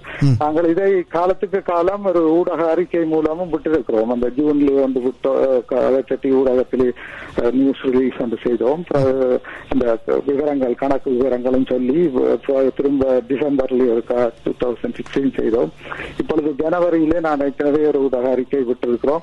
வெளியிட்டிருக்கிறோம். அதன்படி இதன் ஈகை ஃபவுண்டேஷன் ஒரு சேரிட்டி லோயரை நாங்கள் ஹயர் பண்ணி செய்ய போகிறோம். இது ஒரு திறந்த அமைப்பாக மக்களின் பங்களிக்கும் அமைப்பாக இருக்க போகிறது. அதற்குரிய நடவடிக்கைகள் கான்ஸ்டிடியூஷன் ரெஜிஸ்ட்ரேஷன் நடைபெற்றுக் கொண்டிருக்கிறது. அதிலே நாங்கள் முழு ஒரு திறந்த அமைப்பு என்றால் இதில் யாரும் வந்து இணைந்து கொண்டு அவருடைய நிதி பங்களிப்பின் ஊடாக இந்த ஈகை அமைப்பிலே சேர்ந்து கொள்ள முடியும் என்பதா அதனுடைய அர்த்தம்? அப்படியாகத்தான் yeah, ஒரு ஓப்பன் ஓப்பன்னஸோட ஒரு ஸ்ட்ரக்சரை நாங்கள் போட வேண்டும். ஒரு கட்டமைப்பை உருவாக்க வேண்டும். உருவாக்கி கொண்டிருக்கிறோம். உருவாக்கப்பட்ட அதை பற்றி அந்த ஊடக அறிக்கையிலும் தெரிவிக்கப்பட்டது. ஊடக ஊடக அதை உருவாக்கிய பிறகு அதற்குரிய என்னுடைய ஒப்ஜெக்டிவ்ஸ் என்னென்ன முக்கியமாக நான் என்னுடைய இந்த எங்களுடைய ஷேர் ஹோல்டர்ஸ் இந்த இது அவர்கள் இந்த கோரிக்கையின்படி இளைஞர்களுடன் இங்கே உள்ள இளைஞர்கள் இங்கே உள்ள நாட்டிலே உள்ள இளைஞர்கள் அவர்களுடைய சீரழிவு அவர்களுடைய மேம்பாடு அவர்களுடைய அந்த அந்த அந்த விடயத்திற்கு நான் வர அது அந்த விடயத்துக்கு தான் முக்கியமாக நான் வர இருக்கின்றேன். அதற்கு முன்பாக திரு ஜெயந்தன் அவர்களிடம் கேட்டுவிட்டு உங்களிடம் வருகின்றேன். சொல்லுங்கள் திரு ஜெயந்தன் அவர்களே வைத்திய கலாநிதி அவர்கள் சொல்லி இருக்கின்ற இந்த கூற்றோடு நீங்கள் எவ்வளவு தூரம் ஒத்து போகின்றீர்கள் இது வந்து அந்த லீகல் டாக்குமெண்ட் டாக்டர் சாந்தகுமார் சொன்ன மாதிரி லீகல் டாக்குமெண்ட்ல வந்து நூறாயிரம் அதுக்கு செலவழிச்சு மிச்சம் ஒன்றரை மில்லியன் சேரிட்டபிள் ஃபவுண்டேஷனுக்கு போகணும் என்று அஹ், அந்த மாதிரி நம்பர்ஸ் போட்டிருக்கவில்லை. ஆனால் எங்களுடைய அண்டர்ஸ்டாண்டிங் அப்படியேத்தான் இருந்தது நாங்கள் ஒரு நூறாயிரம் பழைய செலவுகளுக்கு போட்டு ஒன்றரை மில்லியன் ஃபவுண்டேஷனுக்கு போறோன்றதை எங்களுடைய அண்டர்ஸ்டாண்டிங் அப்ப அவர்கள் அதை சொல்லியிருந்தார்கள் நாங்கள் இந்த மந்த்லி பேமெண்ட்டை டிவிஐக்கு தர சொல்லி பழைய டிவிஐக்கு தர சொல்லி தாங்கள் அந்த செலவுகள் எல்லாம் முடிச்சு போட்டு ஃபவுண்டேஷனுக்கு என்று அப்ப நாங்கள் பே பண்ணி கொண்டிருக்கும் போது ஒவ்வொரு ஒரு- ஒரு ஒன் ஹண்ட்ரட் தௌசண்ட் பே வந்த அப்புறம் நான் சரியாக அவர்கள் அந்த ஃபவுண்டேஷன் தொடங்குவார்கள் பார்த்து கொண்டிருந்தோம் பட் இன்னும் அது தொடங்கவில்லை இப்பதான் தொடங்கி இருக்கிறார்கள் அது மிகவும் சந்தோஷம் ஆனா அந்த எங்களுடைய ஒரிஜினல் அண்டர்ஸ்டாண்டிங் வந்து வந்தாம் இந்தியன் ஃபவுண்டேஷன் போகும்ன்றதான் எங்களுடைய அண்டர்ஸ்டாண்டிங்கே இருந்தது ஆனால் எவ்வளவு தூரம் அவர் எவ்வளவு செலவுகள் இருந்திருக்கின்றன இந்தந்த கொடுப்பனவுகள் இருந்திருக்கின்றன என்ற அடிப்படையிலே அவர் அதற்கான காரணங்களை சொல்லியிருக்கின்றார் இதை நீங்கள் இந்த புரிந்துணர்வு ஒப்பந்த அடிப்படையிலே இதை பெயர்மாற்றம் செய்கின்ற முயற்சிகள் எடுக்கின்ற பொழுது இதை நீங்கள் ஆழமாக ஏன் பார்க்கவில்லை என்கின்ற கேள்வி ஒன்று முன் வரலாம் அல்லவா நாங்கள் வந்து அவைகளுடைய அசெட்ஸை தான் வேண்டினாங்க அந்த கம்பெனி ஸ்டாக்க வேண்டவில்லை என்றால் எங்களுக்கு அங்க என்னென்ன பிரச்சனை இருக்குன்னு தெரியாது. அப்ப நாங்க அசஸ்ட் மட்டும். அப்ப நாங்க அதே இந்த புக்ஸ் வந்து நாங்க பார்க்க இல்லை அதுக்கு என்ன லைபிலிட்டி இருக்கு அதை வந்து நாங்க பார்க்க இல்லை ம்ஹும். நாங்கள் அதுக்கு அசெட்ஸை வேண்டி ரைட்ஸை மட்டும் வேண்டி டிவிஹெச்டி ஸ்டார்ட் பண்ணியிருந்தாங்க. அப்ப இந்த இதுகளை நாங்க புக்ஸுக்குள்ள நாங்க போய் பார்க்க விரும்பவில்லை. என்ன எங்களுக்கு தெரியாது. சரி சொல்லுங்கள் வைத்திய கலாநிதி அவர்களே சில வேளையில் ஒரு பொதுமகனாக இருந்து உங்களிடம் ஒரு கேள்வியை முன்வைக்கலாம். இப்பொழுது மூன்று ஆண்டுகளுக்கு மேலாக இது பெயர் மாற்றம் செய்யப்பட்டு ஒரு புதிய நிர்வாகத்தின் கீழ் வரப்பட்டிருக்கிறது. மாதாந்தம் இந்த நிதி கொடுப்பனவுகள் செய்யப்பட்டு வந்தாலும் கூட ஏன் இவ்வளவு கால தாமதமாக இந்த நிதி எம், ஆரம்பிக்கப்பட்டிருக்கிறது என்று ஒரு கேள்வியை முன்வைக்கலாம். அதே வேளையிலே இந்த நிதியத்தின் ஊடாக உங்களுடைய அடுத்த கட்டம் என்ன என்னென்ன செயற்திட்டங்களை நீங்கள் செய்ய போகின்றீர்கள் என்கின்ற கேள்வியை முன்வைத்தால் உங்களுடைய பதில் என்னவாக இருக்கும்? நான் ஏற்கனவே கூறியபடி அந்த நான் சொன்னபடி நீங்க அந்த இரண்டாயிரத்தி பதினாறாம் ஆண்டு கடைசி ஆறு மாதங்களில் மிகவும் பெரிய லாஸை நாங்கள் சந்தித்தோம். அந்த அக்ரிமெண்ட் செய்த பிறகும் நாங்கள் அப்படியே தொடர்ந்து அந்த நாங்கள் டிசம்பர் வரையும் அதை ஃபுல்லாக ஹேண்ட் ஓவர் பண்ணி அந்த அந்த செலவுகள் அந்த பெரிய ஒரு ரெண்டே எழுபத்தாயிரம் டாலர்கள் கொடுத்து கொண்டிருந்தது இருக்கப்பட்டிருக்கிறது அதை நாங்கள் சில வேறு விடயங்களில் இதை முன்னேற்றலாம் இன்னொரு இடத்துக்கு போகலாம் பெரிய இடம் என்றாலும் அது ஒரு ஒரு சாத்தியப்பட்டதாக தெரியவில்லை. ஏனென்றால் எங்களுக்கு அந்த மாதாந்த கொடுப்பனவுகளையே செய்ய இயலாத நிலையிலே அதை செய்ய முடியாமல் போய்விட்டது. இதற்குரிய எல்லா எல்லா பதிவுகளும் இருக்கிறது. எம்ப்ளாயர்ஸ் வேலை செய்தவர்கள் எல்லாரையும் கேட்டு பார்க்கலாம். அவர்களுடைய ஆரம்ப கொடுப்பனவாகவும் மந்த்லி கொடுப்பனவாகவும் இப்போ லாஸ்ட் இயர் தான் அதை கொடுத்து முடிச்சிருக்கிறோம். மற்றது அது மிகுதி மிகுதி பணத்தை ஏற்கனவே சொன்னபடி ஈவன் நாங்கள் முதலீட்டாளர்களுக்கு கூட இன்னும் காசை கொடுக்க பலரும் அதை கேட்டுக்கொண்டிருக்கிறார். நீங்கள் இப்படி எடுத்தீர்களே எங்கட காசு ஏன் தெரியல என்று. நாங்கள் முதலீட்டாளர்களை விட மற்ற பொறுப்பு ஒன்று அர்ப்பணிப்புடன் வேலை செய்து இதை நம்பியிருந்த புரோகிராம் செய்தவர்களும் நேரத்தை பொருட்படுத்தாமல் அவர்கள் தான் எங்களுக்கு முக்கியம். அடுத்தடுத்த கட்டங்களில் மற்ற கவர்மெண்ட் யூஸ் பேக் பேஸ் அது எங்களுடைய பெயரையும் நாங்கள் இது ஒரு ஒரு பொது பொறுப்புக்காகத்தான் நான் நான் இந்த என்னுடைய பேர் இதுக்குள்ளே போ- போனது. நான் இந்த மருத்துவ இந்த இந்த நாட்டிலே நான் இப்போ முப்பது வருடமாக இருக்கிறேன் இருபது வருடமாக இந்த மருத்துவராக பணியாற்றி கொண்டிருக்கிறேன். ஒரு லோயரை கூடி நான் இதுவரை சந்தித்ததில்லை. இந்த சிபிஐ விடயத்துக்காக தான் நான் கோர்ட்டு லோயர் போய் லோயரிட சந்திக்க வேண்டி முதல் தடவை நான் அதை செய்ய வேண்டியதாக வந்தது. இதுகள் கணக்க ஒரு சோக பதிவுகளும் இது இருக்கிறது. நாங்கள் அந்த சோக பதிவுகளை விட்டு விட்டு ஆனால் நான் உள்ள நான் சொன்னேன் உங்களுக்கு வெளிப்படையாக நான் நடந்ததை சொல்லுவேன் அதைத்தான் பேச வருகிறேன் என்று சொன்னேன். அந்த வகையிலே வெளிப்படையாக பேசுகிறேன். நான் எப்பவும் முழுதும் இது பேசுவதில்லை. நான் நாட்டிலும் பல சேவைகளை நானும் செய்தவன் தான். நான் ஒரு மருத்துவ அமைப்பை உருவாக்கி அங்கே எத்தனையோ பங்களிப்புகளை தேவையான காலங்களில் செய்தேன். அப்படியே ஒரு பொது பொது பொறுப்பாளனாக நான் இதை செயல்படுத்தி வருகிறேன். எங்களால் கூடியவரை எவ்வளவு சரியாக செய்ய முடியுமோ அதை செய்திருக்கிறோம். அண்ட் இன்றைக்கு அதை செய்து முடித்து செய்ய தொடங்கி இருக்கிறோம் அப்படினாலே இந்த இந்த ஈகை அமைப்பு அதற்கு ஒரு பேரும் வைத்திருக்கிறோம் ஈகை ஃபவுண்டேஷன் என்று சொல்லி. அதை நாங்கள் ஒரு ஒரு ஆரம்பத்திலேயே அதை ஒரு நான் ப்ராஃபிட்டாகத்தானே அதை தொடங்கி அதை நல்ல ஒரு சட்ட ஆலோசனையுடன் ஆரம்பித்து இளைஞர்கள் மற்றும் நாட்டு எங்களுடைய நாட்டிலே இப்ப தேவை பல தேவைகள் இருக்கின்றன. நாட்டுக்கு நாளுக்கு நாள் அந்த தேவைகள் மாறிக்கொண்டு வருகிறது. இப்பொழுது அங்கே மக்கள் இளைஞர்கள் ஒரு தொலை தொலைக்கப்பட்டவர்களாக இருக்கிறார்கள் தொலைந்து போயிருக்கிறார்கள். இருபத்தைந்து வருட முப்பது வருட போராட்டத்தில் அவர்கள் ஒரு எங்களுடைய எங்களுடைய வளமாக இருந்த கல்வி இன்றைக்கு அங்கே இல்லை. வடக்கு கிழக்கிலே. முன்னுக்கு எங்களுக்கு ஒரு ஒரே ஒரு ஆதாயம் எங்களுடைய ஒரு ஒரு முக்கிய ஒரு ஒரு ஸ்ட்ரென்த்தாக இருந்த கல்வி கூட சீரழிக்கப்பட்டு வருகிறது. அந்த இளைஞர்களை நாங்கள் அங்கே மேன்மைப்படுத்த வேண்டும். இந்த கொடுப்பனவர்களை ஊக்கு ஊக்குவிக்க வேண்டும். பிசினஸ் அதாவது என்டர்பிரினர்ஷிப் கெப்பாசிட்டி பில்டிங் அப்படியான பல விடயங்களை நாங்கள் செய்ய வேண்டும். ஏனென்றால் அங்கே ஒரு அப்படி ஒரு ஒரு- பின்தங்கிய நிலையிலே போய்விட்ட ஒரு மிகவும் கவலைக்குரிய விடயம்தான். ம்ஹும். அதனுடையால் இப்போ புது இளைஞர் இப்போது படிக்கிற இளைஞர்கள் முன்னுக்கு வருகிறார்கள். அவர்களுடைய வசதிகளை செய்து கொடுக்க வேண்டும். இளைஞர்களுக்கு மட்டுமல்ல நாங்கள் இந்த இது இப்ப இந்த ஊடகம் வந்து ஒரு சமூகமாகத்தான் தொடங்கப்படுது. சமூக ஊடகமாகத்தான் நான் இதுக்குள்ளே போனேன். அதே சமூக அர்ப்பணிப்புடன் இந்த ஈகை ஃபவுண்டேஷனும் இருக்கும். அதிலே வந்து யாரும் அதில் சேர்ந்து கொள்ளலாம் பங்களிக்கலாம். அதிலே வந்து உதவி செய்யலாம். அதை நாங்கள் இந்த இந்த பணத்தை மட்டும் வைத்துக்கொண்டு நாங்கள் அதை செய்யவில்லை. பணம் இந்த பணம் போ மட்டும் போதாது அது ஒரு ப- ஒரு ஒரு ஒரு சோர்ஸ் இன்கமாக ஒரு சோர்ஸ் ஃபண்டிங்காக வைத்துக் கொண்டுதான் நாங்கள் வருடம் வருடம் ஒரு ஒரு ஃபண்ட் ரைசிங் மாதிரி செய்து இது உங்களுக்கு தெரியும் எத்தனையோ நான் ப்ராஃபிட் ஆர்கனைசேஷன்ஸ் இங்கே நடக்கிறது. நான் பலதில் ஈடுபட்டிருக்கிறேன். நான் ஒரு சமூக அந்த மருத்துவ அமைப்பை நான் தான் தொடங்கினேன். கனடிய தமிழர் மருத்துவம். இன்றைக்கு அது ஒரு சேரிட்டியாக நடந்து கொண்டிருக்கிறது. அப்படி பல அதே மாதிரி நான் நல்ல முறையிலே முன்னுக்கு கொண்டு வந்து எங்களுடைய நாட்டு மக்களுக்கு எங்களால் இப்பத்தைய தேவைகள் காலத்துக்கு காலம் மாறிக்கொண்டு வருகிறது. அந்த அந்த தேவை என்னென்ன தேவையோ அதை அதுபடியா நான் ஏற்கனவே சொன்னபடி யாரும் இதில் வந்து பங்கு பெற்றலாம் சேர்ந்து கொள்ளலாம்.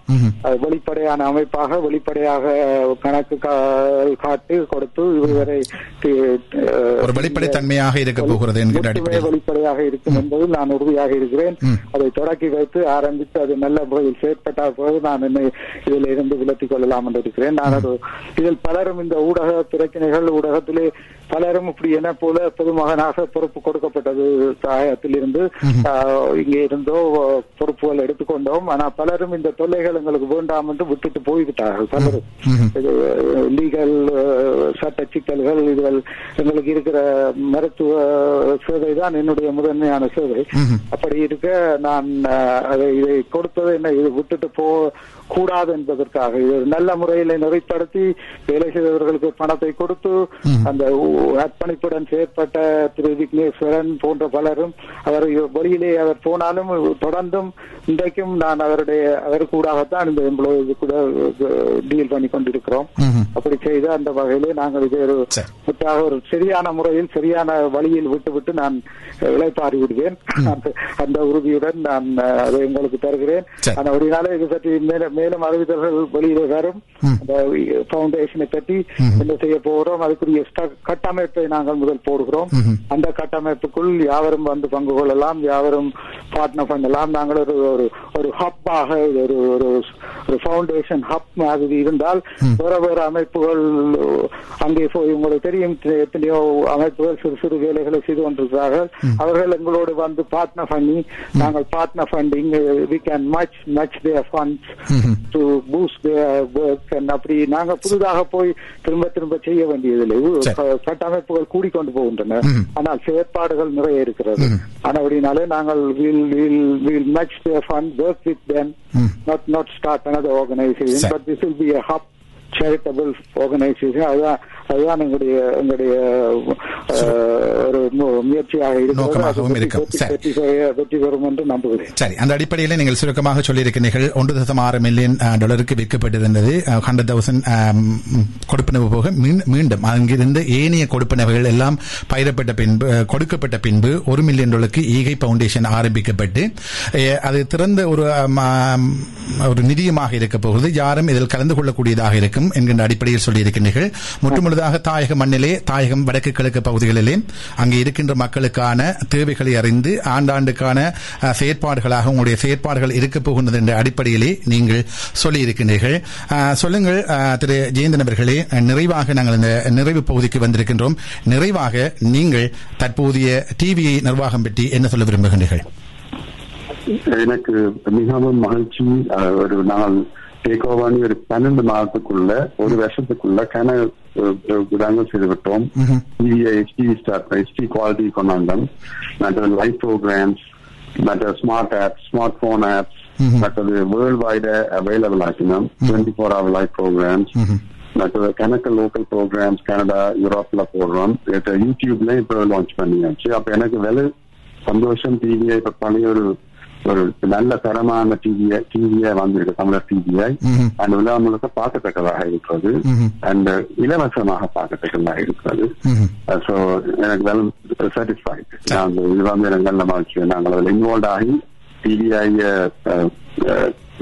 என்ன அஹ், போக விடாமல் திருப்பி ஒரு நல்ல தரத்தில் கொண்டு வந்திருக்கோம் நல்ல- மகிழ்ச்சி. அப்ப அந்த டிவி நிறுவனம் கனடாவில் எல்லாருமே நல்ல நல்ல ஸ்டாண்டர்டா நல்ல ஊக்கத்தோட செய்கிறார்கள் எல்லாருக்கும் நல்ல நான் நல்ல தேங்க்ஃபுல்லா இருக்கும். சரி.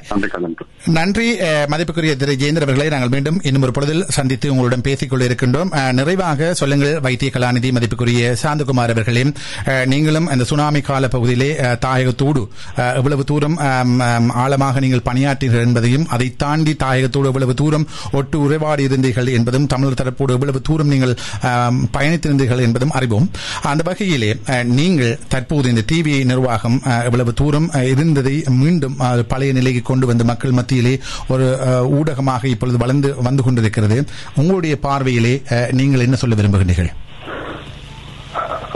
அது மிகவும் ஒரு நல்ல விடயமாகத்தான் நானும் பார்க்கிறேன்.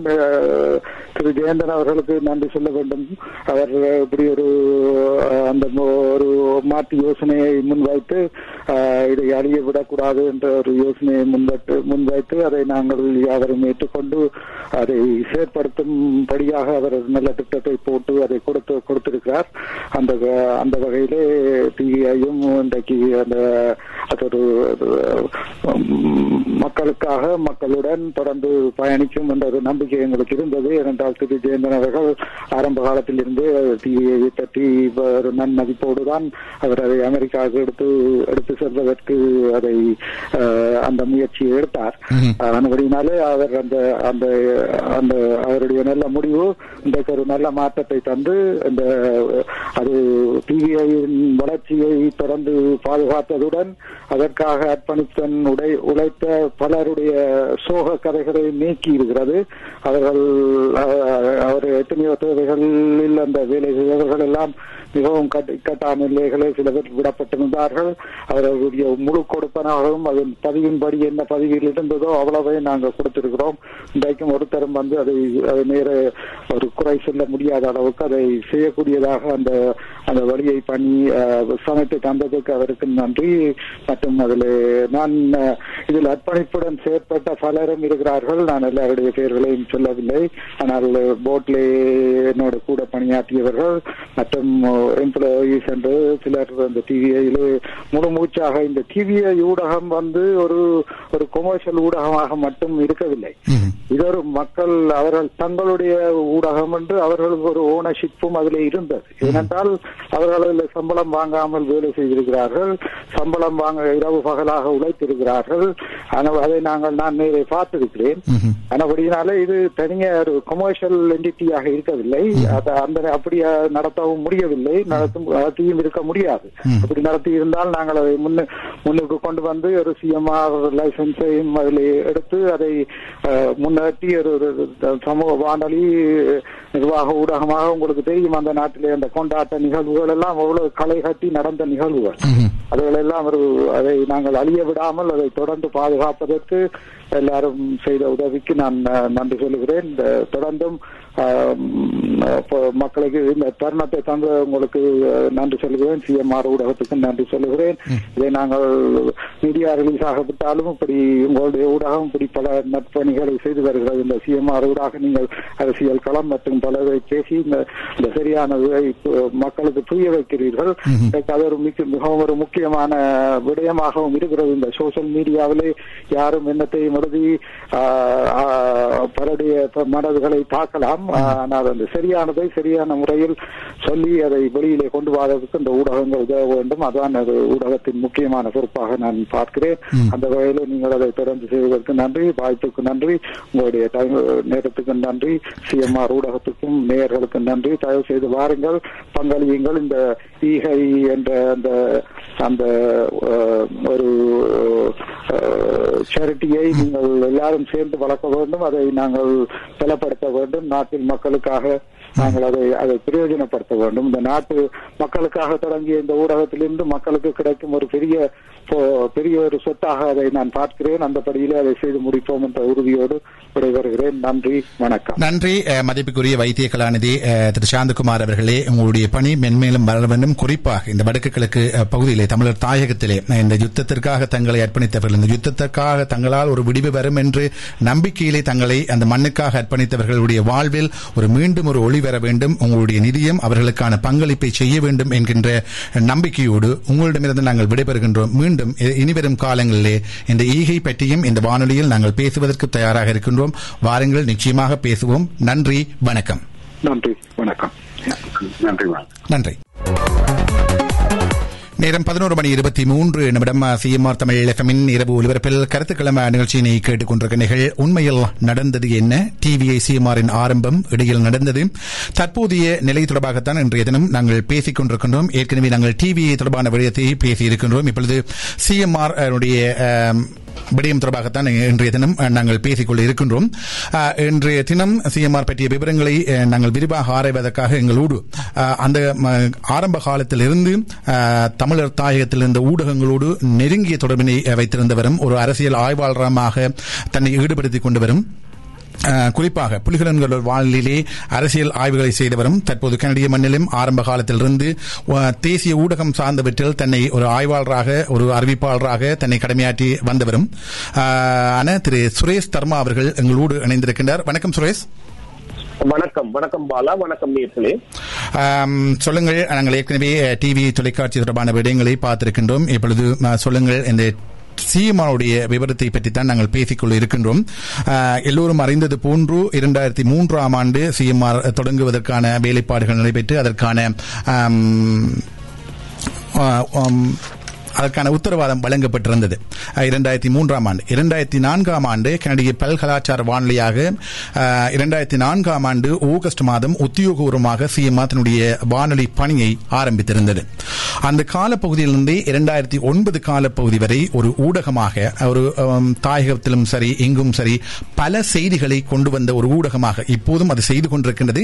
ஏனென்றால் அந்த காலப்பகுதியை நாங்கள் பிரித்து பேச வேண்டிய ஒரு நிலை இருக்கிறது. அதனால்தான் அந்த இரண்டாயிரத்தி நான்கில் இருந்து இரண்டாயிரத்தி ஒன்பது வரையான காலப்பகுதியிலே அஹ், ஒரு ஒரு செயற்பாடாக இந்த வானொலி செயற்பட்டு வந்திருக்கின்றது பல்லினம் சார்ந்து செயற்பட்டு வந்திருக்கிறது. அந்த ஊடகத்தினுடைய தேவை எவ்வளவு தூரம் இருந்தது என்பதும் இங்கிருக்கின்ற மற்ற ஊடகங்கள் எங்கள் சார்ந்திருக்கின்ற எங்கள் சார்ந்த அந்த போராட்டத்தையும் எங்கள் மக்களை பற்றியும் ஒரு தவறான செய்திகளை பரப்பிய இருந்த காலப்பகுதியிலே அதன் தேவையறிந்து அவற்றையெல்லாம் துடைத்தொழிக்க வேண்டும் என்கின்ற அடிப்படையிலே இந்த ஊடகம் வரவழைக்கப்பட்டிருந்தது. சொல்லுங்கள் அந்த காலப்பகுதியிலிருந்தே இந்த ஊடகத்தோடு பயணிக்கின்றனர் என்ற வகையிலே இதனுடைய ஆரம்பத்தை பற்றி சொல்லுங்கள். ஆமாம் இந்த நான் பகிர போகின்ற தகவல்கள் பல பகிரங்கமானவை. இந்த இணைய வெளியில் பெறக்கூடியவை. குறிப்பாக இந்த சிஆர்டிசி எனப்படுகின்ற இந்த கனேடிய வானொலி மற்றும் இந்த தொலைக்காட்சி ஆணையகத்திற்கு சமர்ப்பிக்கப்பட்டவை பல தரப்புகளாலும். எனவே இந்த நாங்கள் பகிரப் போகின்ற தர- தரவுகள் ஆதாரத்தை அடிப்படையாக கொண்டவை. நேர்க கூட இணையத்தில் தேடி பெறக்கூடியவை. இந்த உண்மையிலேயே பாலா நீங்கள் கூறியது போல இந்த ஒரு பல் கலாச்சார வானொலிக்கான கேள்விகளை இந்த ஊடகங்களிடமிருந்து கனேடிய வானொலி என்கின்ற தொலைக்காட்சி ஆணையம் கோரிய போது. தமிழர்களிடையும் ஒரு பாரிய பிரச்சனை இருந்தது அந்த நேரத்தில் இந்த தமிழர்களின் இந்த இருப்பை நிரூபிக்கிறதுக்காகவும். தமிழர்கள் மீது சில கனேடிய தேசிய ஊடகங்களால் மேற்கொள்ளப்பட்ட உண்மையற்ற பிரச்சாரங்களை முறியடிப்பதற்காகவுமான தேவை ஒன்று அதீதமாக இருந்தது. இந்த மக்கள் அதாவது இந்த இப்பொழுது இதை கேட்டுக்கொண்டிருக்கின்ற நேர்களில் பலரும் இலகுவில் மறக்க முடியாத விடயங்கள் என்னவென்று சொன்னால். இந்த காழ்ப்புணர்வு பிரச்சாரத்தின் ஒரு பகுதி உண்மையிலேயே இந்த இளைஞர்கள் குழுவாத மோதல்களில் அந்த அதாவது வந்து குழுக்களாக பிரிந்து துப்பாக்கிச் சூடுகளில் பலர்களை கொண்டதாகவும் அதற்காகவே இந்த தமிழ் டாஸ்க் போஸ்ட் என ஒரு போலீசிலேயே ஒரு பிரிவு அமைக்கப்பட்டது எங்களுடைய மொழியை அடிப்படையாக வைத்து அமைக்கப்பட்டதாக ஒரு புறமாகவும். மறுபக்கத்துமாக இந்த ஸ்ரீலங்கா அரசால் அதாவது வந்து ஒப்பந்தம் செய்யப்பட்ட இந்த பிரச்சார ஊடகங்கள் அல்லது பிரச்சார நிறுவனங்கள். ஆ, கனடியர்களிடையே பரப்பிய செய்திகள் அதில் இந்த ஊடகங்கள் வைத்த பங்கு எவ்வாறெனில் அவர்கள் அதாவது வந்து இந்த விடுதலை போராட்டத்திற்கு நிதி சேகரிப்பதற்காக இந்த பெண்கள் தமிழ் பெண்கள் போராட்டத்தில் ஈடுபடுகின்றார்கள் என்று கூட ஒரு பிரச்சாரத்தை ஏற்படுத்தி அதற்காக மக்கள் வீதிகளில் இறங்கி போராடிய காலத்தை தமிழர்கள் மறந்திருக்க மாட்டார்கள். அவ்வாறான ஒரு குறிப்பிட்ட காலத்தில் தான் இந்த வானொலி விண்ணப்பம் வந்திருந்தது. அதன் உடான தேவைகள் கூட நிறைவேற்றப்பட்டன. இதற்காக இந்த கோல் கோ எனப்படும் ஒரு நிறுவனத்தை இந்த சிஎம்ஆர் என்கின்ற அமைப்பில் அறுபத்தி ஏழு பங்கை கொள்வனவு செய்யக்கூடியதாக உருவாக்கி இருந்தார்கள் இங்கே கவனிக்க வேண்டியது என்னவென்றால் இது ஒரு பல் கலாச்சார வானொலிக்கான விண்ணப்பமாகத்தான் விண்ணப்பிக்கப்பட்டிருந்தது எனவே அறுபத்தி ஏழு விழுக்காடு பங்கு என்பது இந்த ஹோல்கோ என்கின்ற நிறுவனத்தினூடாகவும் ஏனைய முப்பத்தி மூன்று பங்கு என்பது ஏனைய சமூகங்களூடாகவும் குறிப்பாக இந்த சீக்கிய மற்றும் ஹிந்தி மொழி சார்ந்த சமூகங்களூடாகவும் மேற்கொள்ளப்படுவதற்கான முயற்சிகள் என்பது. இந்த டிவியை சார்ந்த செயற்பாடுகளில் ஈடுபட்ட முனைப்புகள் கொண்டிருந்தவர்களால் முன்னெடுக்கப்பட்டிருந்தது அதற்கான மக்களின் தாராள ஆதரவு இருந்தது. ஆனால் அஹ், பாருங்கள் அந்த அறுபத்தேழு வீதம் என்பது பேசுவதற்கு முன்பாக இந்த கோல்ட் கோ என்றால் யார்? அந்த அது அந்த நிறுவனம் என்றது யார் அதில் உள்ளடக்கப்பட்டிருந்தார்கள் என்கின்ற கேள்வி வரும் அல்லவா? அதற்கு இப்ப இப்படி பார்ப்போம். இந்த பல்கலாச்சார தன்மையுடைய வானொலி நிலையத்திற்கான விண்ணப்பமாக அதுக்கு அந்த ஆதரவு புலத்திற்காக இந்த மூன்று இடங்கள் என்பன சேர்க்கப்பட்டன. மூன்று மொழி குழுமங்கள். சீக்கிய இந்தி தமிழ் மொழி என்பன. எனவே இந்த ஆதரவு என்பதும் இந்த மூன்று இன குழுமங்களிடம் இருந்தும் ஒரே அளவாக வந்த பொழுதும் இங்கே இருந்திருந்த ஒரே ஒரு விடயம் என்னவென்றால் இந்த இளைஞர்களுக்கு இந்த முதலீடு என்பது எட்டாக்கணியாக இருந்தது. இப்பொழுது திரு மதிப்புக்குரிய ஜேந்தன் அவர்கள் எவ்வாறு சற்று நேரத்துக்கு முன் தனது பங்களிப்பை இந்த டிவி விவகாரத்தில் சொன்னாரோ.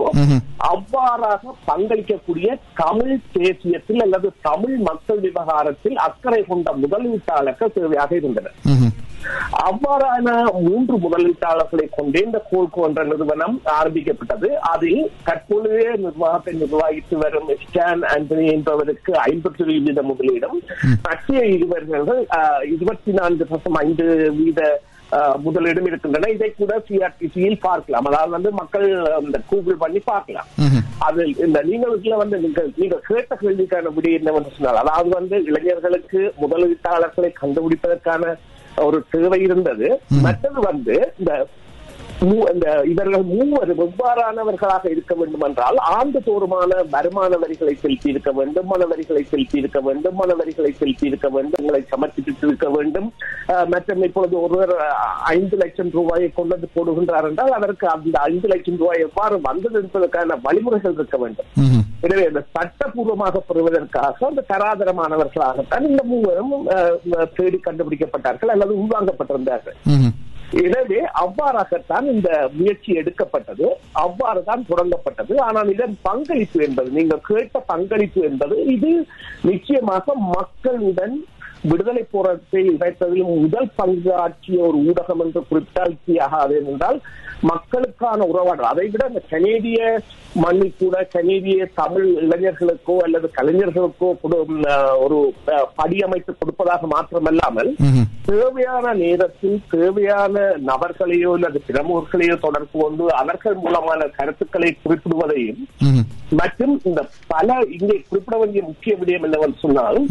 இந்த பல மக்களின் வழிகோலாக அவர்களுடைய மற்றும் அவர்களுடைய களைப்புகள் போன்றவற்றுக்கு வழிகோலாக காலை பயணங்களிலோ அல்லது மாலை பயணங்களிலோ அல்லது அந்த பார ஊற்றி ஓடுவோர்கள் போன்றவர்களின் தேவைகள் அவர்களுக்கெல்லாம் இது ஒரு அதாவது வந்து ஒரு அத்தியாவசியமானது. அதை விட முதியவர்கள் வீட்டில் இருப்பவர்கள் போன்றவர்களுக்கு அந்த தமிழ் அதாவது வந்து தமிழ் ஈழம் சார்ந்த விடயங்கள் மாத்திரமல்லாமல் சகல விடயங்களையும் கொண்டு செல்கின்ற ஒரு ஊடகமாகவும் நிச்சயமா தரமான விடயத்தை தரமான விதத்தில் சொல்கின்ற ஊடகமாகவும் இரண்டாயிரத்தி ஒன்பதில் குறிப்பாக இந்த மக்களை ஒன்றிணைப்பதற்கான ஊடகமாகவும் இது செயற்பட்டிருக்கின்றது என்றால் மிகையாகாது ஆனால் இந்த காலப்பகுதி வரை இவ்வளவு துடிப்போடு இயங்கிய இந்த ஊடகம் இரண்டாயிரத்தி ஒன்பதில் இருந்து பல தளம்பல்களுக்கும் தடுமாட்டத்திற்கும் ஆளாக வேண்டிய ஒரு சூழ்நிலை ஏற்பட்டதை எல்லோருமே அறிவார்கள்.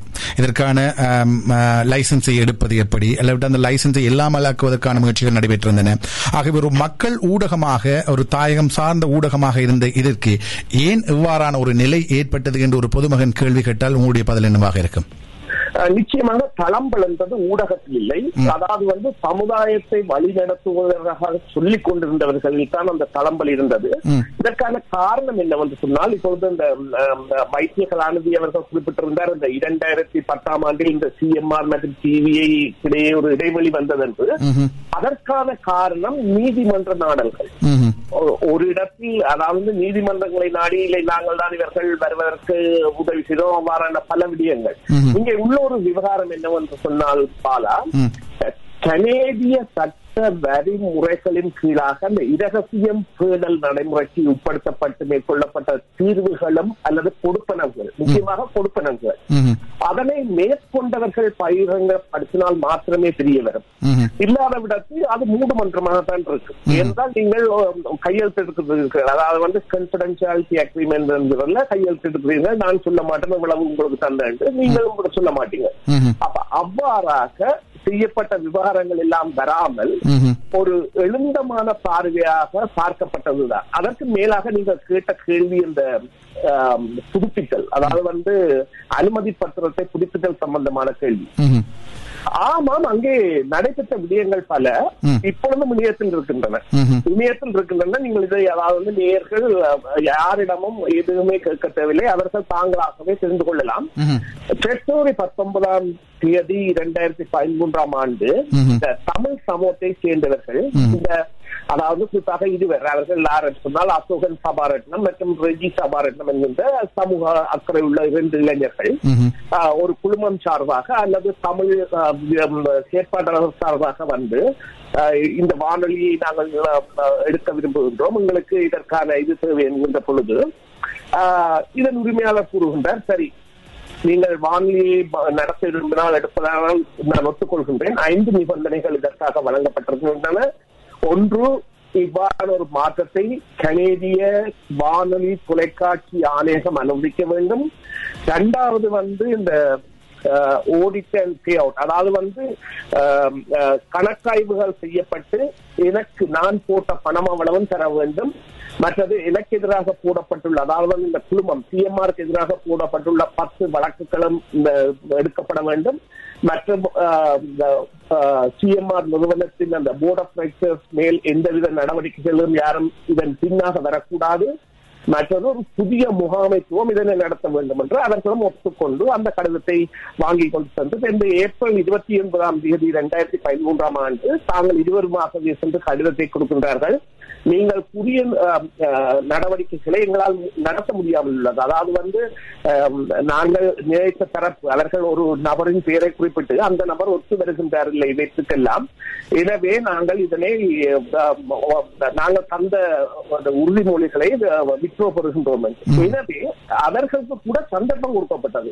அங்கே உள்ள இங்கே இந்த- இந்த விடயத்தை பாருங்கள்.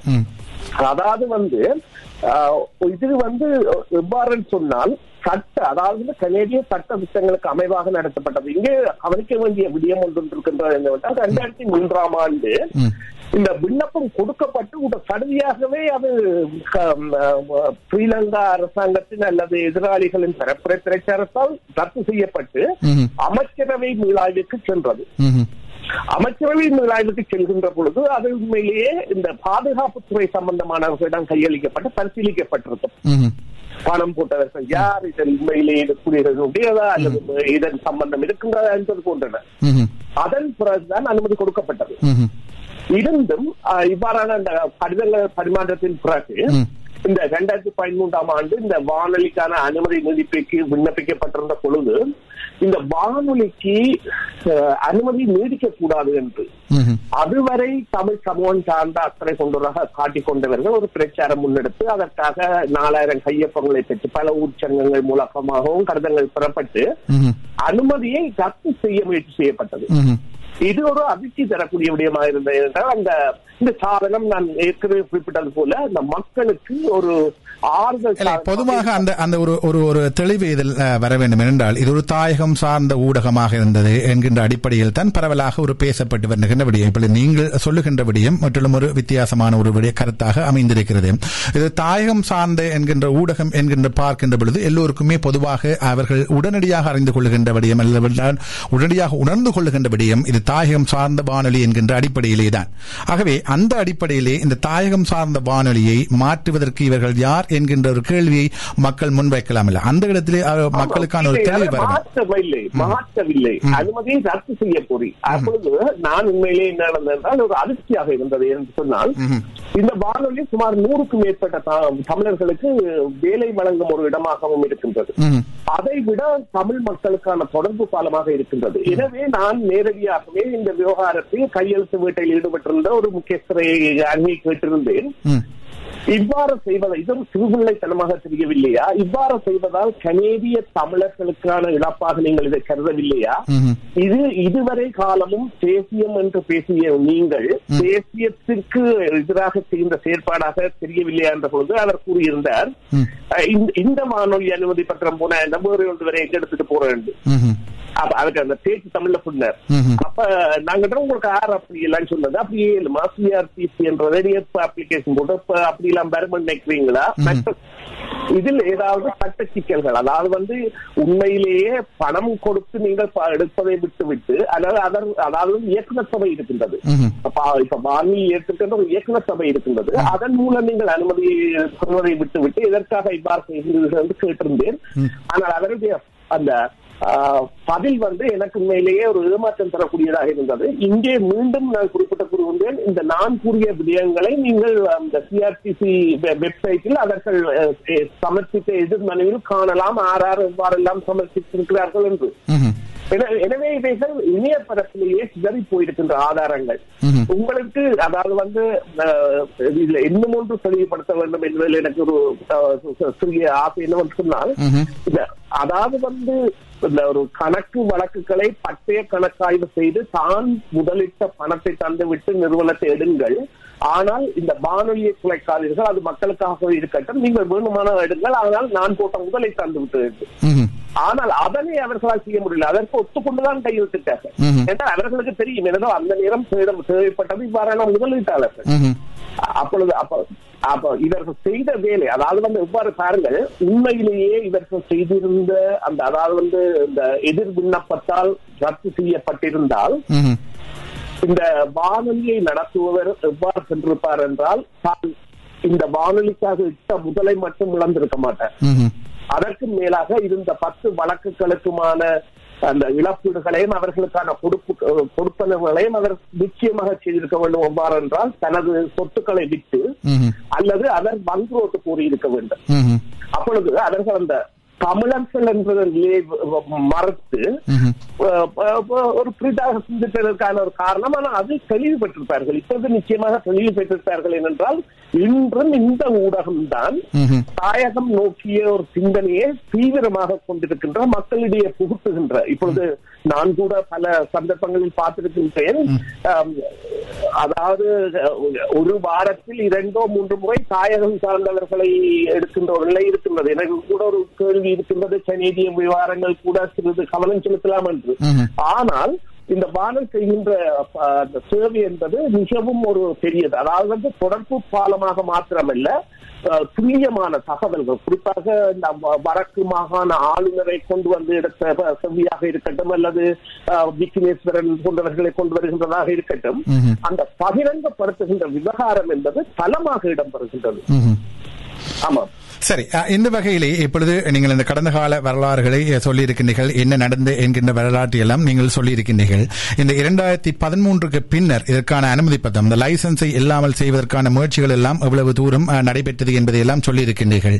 இப்போதைய நிலையிலே இந்த சிஎம்ஆர் நிர்வாகம் என்பது சிஎம்ஆர் டிவிஐ நிர்வாகம் என்பது இப்போது இருக்கின்ற நிர்வாகம் என்பது முற்றுமுழுதாக ஒரு ஒரு ஊடகம் சார்ந்து இருக்கின்ற ஒரு ஒரு தனிநபருடைய நிர்வாகத்தின் கீழ் கொண்டு வரப்பட்டிருக்கிறது. ஆகவே ஒரு மக்கள் மத்தியிலே இது ஒரு தாயகம் சார்ந்த ஒரு ஊடகமாக இருந்தது என்கின்ற பேச்சு பரவலாகவே அடிபட்டு வருகிறது. ஆனால் இவ்வளவு க- இவ்வளவு விவரங்கள் பின்னாலே இருக்கின்றது என்பது நீங்கள் சொல்லுகின்ற பொழுது தெரிகிறது. ஆகவே இப்போதைய பார்வையிலே மக்கள் மத்தியில் ஒரு கேள்வி வருகின்ற பொழுது இதில் இன்னும் எங்களுக்கு தெளிவு வேண்டும் என்கின்ற அடிப்படையிலே ஒரு கேள்வியை முன்வைத்தால் டிவிஐ சிஎம்ஆர் நிர்வாகம் யாருடைய யாருடைய ஒரு ஊடகமாக இருக்கிறது? நிச்சயமாக இது இயக்குனர்களாக இருந்தவர்கள் தங்களது பங்குகளை அல்லது தாங்கள் கொடுக்கப்பட்ட வழக்குகளில் எவ்வாறான முடிவுகள் தங்களுக்கு எட்டின தங்களுக்கான கொடுப்பனவுகள் எவ்வாறு கொடுக்கப்பட்டு பங்குகள் மாற்றப்பட்டன என்பதை தெரிவித்திருந்தால் நிச்சயமாக மக்களுக்கு தெரியும். இது நிச்சயமாக நீதிமன்றங்களில் நீதிமன்ற அடிப்படைகளில் தீர்க்கப்பட்ட விவகாரங்கள் என்பது. நான் ஏற்கனவே குறிப்பிட்டிருந்த விவகாரம் ஒன்று பாலா. இந்த இரகசியம் பேணல். அந்த இரகசியம் பேணல் என்பதன் கீழான அடிப்படையில் இப்ப எனக்கோ உங்களுக்கோ தெரியாது. நாங்கள் அறிய முடியாது. அவர்களாக சொல்கின்ற வரை இந்த விடயம் தெரியாது ஆனால். நிச்சயமாக இது கனேடிய சட்ட திட்டங்களுக்கு உட்பட்ட முறையில் இங்கே இது இருக்கின்ற விடயம் என்னவென்றால் ஒரே ஒரு விடயத்தை இந்த உணர்ச்சி மையத்தில் வைத்து மறைக்கப்பட்டிருக்கின்றது என்னென்றால்.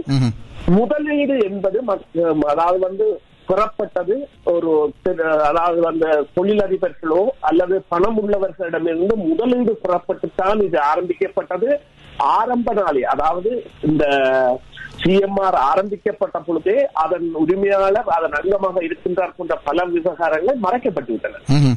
இப்பொழுது ஐம்பத்தி ஒரு வீத பங்குகளை வைத்திருந்தவர் அறுபத்தி ஏழு வீத பங்குகளை அதாவது கொண்ட ஹோல்கோ நிறுவனத்தை வாங்கியதும் அதன் பிறகு மற்ற இனத்தவர்களிடமிருந்து அந்த பங்கை வாங்கியதும். அவருடைய திறமை. அவர் அதற்குரிய பணத்தை அதாவது வந்து சட்ட ரீதியாக நீதிமன்றம் மூலம் செலுத்தித்தான் வாங்கி இருக்கின்றார் நீதிமன்றத்திற்கு சென்றுதான் அதாவது செட்டில்மெண்ட். நீதிமன்றத்திற்கு சென்று வாங்கப்பட்ட விவகாரம். எனவே இது வந்து அதாவது வந்து தமிழ் மக்களுடைய விருப்புகளையும் தமிழ் ஈழத்தின் நோக்கங்களையும் பிரதிபலிக்கின்ற ஒரு தனிப்பட்ட நபரின் சொத்தாக தற்பொழுது சட்ட ரீதியாக இருக்கின்றது. அவர்கள் ஏழு வருடங்கள் இதற்கான அனுமதியை கொடுத்திருக்கிறார்கள். அதுவே இலகுவானது. அதாவது வந்து பாரதூர குற்றச்சாட்டுகள் மட்டுமல்ல பல அரசியல்வாதிகளிடம் அழுத்தங்கள் கூட தெரிவிக்கப்பட்டன. இருந்தும். அவர்கள் தெரிந்த விடயங்கள் அவர்களுக்கு தெரிந்து எவ்வாறு சட்ட ரீதியாக அணுகப்பட்டிருக்கின்றன அதற்கான ஆவணங்கள் என்ன என்பதை அவர்கள் பரிசீலிக்கும் பொழுது. அவர்களுக்கு தெரிந்த விடயம் தான் மக்களுக்கும் சொல்லக்கூடிய ஒன்று என்னவென்றால் இங்கே ஒரு ஒழிப்பு மறைப்புக்கும் இடமில்லை.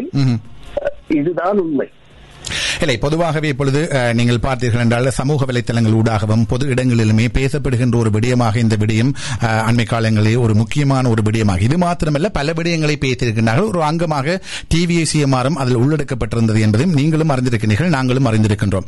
அந்த வகையிலே இதற்கான தெளிவு வர வேண்டும் என்பதும் இதை பற்றி அறியாத முற்றுமுழுதாக தெரிந்திருக்காத மேலோட்டமாக பார்க்கின்ற பொழுது தாயகம் சார்ந்த ஒரு ஊடகமாக இருக்கின்றது என்ற அடிப்படையிலே மக்கள் மத்தியில் கருத்து நிலவுகின்ற பொழுது அதற்கான ஒரு தெளிவை கொண்டு வர வேண்டும் என்கின்ற அடிப்படையில் தான் இன்றைய நிகழ்ச்சியை நாங்கள் ஆரம்பித்திருந்தோம். ஆகவே நிறைவாக இந்த நிகழ்ச்சியை நாங்கள் முடிவுக்கு கொண்டு வருவதற்கு முன்பாக நீங்கள் தற்போது இருக்கின்ற இந்த சிஎம்ஆர் டிவியை நிர்வாகம் பற்றி உங்களுடைய பார்வையிலே என்ன நினைக்கின்றீர்கள்? நீங்கள் குறிப்பிட்ட முதல் விவகாரம் அதாவது வந்து இணைய தளங்களிலும் அல்லது சமூக வலைத்தளங்களிலும் கதைக்கப்படுகின்ற ஏனைய விவகாரங்கள் குறித்த விடயங்கள் எங்களுக்கு தெரியாது. அதற்கான காரணம் என்னவென்று சொன்னால் இரண்டு டிரஸ்டிகள் தொடங்கப்பட்டு அவர்களுக்கு தெரியும் இங்கே இருக்கிறது அதாவது வந்து தமிழர் தரப்புகளிடையே தேசிய சொத்துக்களாக இருக்கின்ற என்பதை பார்ப்பதற்காக இரண்டு ட்ரஸ்டி அதாவது வந்து இரண்டு ட்ரஸ்டிகள் அந்த அதே தமிழ் தேசிய பார்வை கொண்டவர்களால் உருவாக்கப்பட்டு அவர்கள் அதற்குரிய நகர்வுகளை மேற்கொண்டிருக்கின்றார்கள். நான் பகிர்ந்த விடயங்கள் பகிரங்கமானவை இணையத்தில் பெறக்கூடியவை டிஆர்சிசி எனப்படும் கனேடிய வானொலி தொலைக்காட்சி ஆணையத்திற்கு சமர்ப்பிக்கப்பட்டவை. எனவே நீங்கள் கேட்ட அடுத்த கேள்வி அதாவது வந்து உங்களுடைய கேள்வி என்னவென்று சொன்னால் இப்பொழுது என்ன செயற்பாடு என்பது அது முன்னே இருந்த பொழுதுதான் இப்பொழுதும் இருக்கின்றது. அதாவது வந்து எந்தவித மாற்றத்தையும் அது அடையவில்லை அல்லது ஒரு மாற்று கோணத்திற்கு மக்களை இட்டுச் செல்லவில்லை. நிச்சயமாக கருத்துக்களை விவாதிக்கின்றது களங்களை கொடுக்கின்றது மக்களின் கருத்துக்களை உள்வாங்குகின்றது. எனவே அதாவது வந்து இது இதற்கான பதில் உங்களுடைய இறுதி கேள்விக்கான பதிலை நேயர்களுக்கே தெரிந்திருக்கும் என்று சொன்னால் அவர்களுக்கு உரிமையுடன் பேச போன்ற அல்லது உரிமையுடன் தாங்கள் சொல்லக்கூடிய ஒரு களமாக அவர்கள் இன்றும் கருதுவது இந்த சிஎம்ஆர் வானொலியையும் டிவியையும் தான். அது ஒரு பெரிய சான்றாக இருக்கு. சரி நன்றி திரு சுரேஷ் அவர்களே. நாங்கள் மீண்டும் இன்னும் ஒரு பொழுதில் சந்தித்து அஹ், மற்ற விடயங்கள் பற்றி பேசிக் கொள்ள இருக்கின்றோம். நன்றி உங்களுடைய நேரத்துக்கு மீண்டும் சந்திப்போம். நேர்கள் இதுவரை இன்றைய கருத்துக்களத்தில் உண்மையில் நடந்தது என்ன? டிவிஐ சிஎம்ஆர் ஆரம்பம் இடையில் நடந்தது தற்போதைய நிலைமை தொடர்பாக சிஎம்ஆர் டிவியினுடைய தற்போதைய நிர்வாகம் தந்திருக்கின்ற கருத்துக்களின் அடிப்படையில் இன்றைய தினம் இன்றைய கருத்துக்களத்தில் இடம்பெற்றிருந்தது. முதலிலே நாங்கள் டிவியினுடைய நிலைப்பாடு தொடர்பாக நாங்கள் பேசியிருந்தோம். அதில் வைத்திய கலாநிதி திரு சாந்தகுமார் அவர்களும் திரு ஜெயந்தன் அவர்களும் கலந்து கொண்டிருந்தார்கள். பின்பு சீமாவுடைய நிலை தொடர்பாக பேசுவதற்காக தாயகத்திலே சரி இங்கே கனடிய மண்டலம் சரி ஊடகத்துறையில் தன்னை ஆரம்ப காலத்திலிருந்து ஈடுபடுத்திக் கொண்டு அரசியல் ஆய்வாளர் திரு சுரேஷ் சர்மா அவர்களும் இணைந்திருந்தார்கள். நேர்கள் இதுவரை கருத்துக்களும் அந்நிகழ்ச்சியினை கேட்டீர்கள்.